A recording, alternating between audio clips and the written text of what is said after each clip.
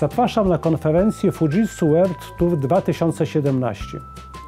Czy wiedzą Państwo, że prawie połowa czynnych zawodowo Polaków należy do pokolenia milenialsów, czyli osób urodzonych między 1980 a 2000 rokiem? Osoby te cenią takie wartości jak wolność, indywidualizm, możliwość wyboru, podmiotowość. Cenią też wolny czas, relacje z innymi ludźmi oraz technologie IT ukierunkowane na komunikację. Samoobsługa we wszystkich obszarach życia, poczynając od zakupów, poprzez korzystanie z różnego rodzaju usług, aż do kontaktów z administracją publiczną, jest dla nim czymś oczywistym. Tego samego oczekują od otaczającego ich świata. W jaki sposób można im to zapewnić?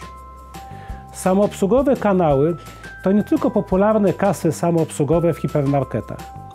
To również wielofunkcyjne bankomaty realizujące funkcje sprzedaży usług bankowych. To samoobsługowe platformy usług administracji publicznej, samoobsługowe kioski medyczne i samodzielny dostęp pacjentów do ich elektronicznych danych medycznych. To w pełni zautomatyzowane zakupy w sklepach tradycyjnych i internetowych. Dla państwa oznacza to konieczność znalezienia optymalnych rozwiązań IT, które zapewnią sprawne działanie kanałów samoobsługowych oferowanych państwa klientom. Czym warto się kierować przy podejmowaniu decyzji? Fujitsu zajmuje się kompletowaniem elementów układanki rozwiązań samoobsługowych. Od technologii sprzętowych, poprzez identyfikację klientów i oprogramowanie, po systemy wspierające Omnichannel.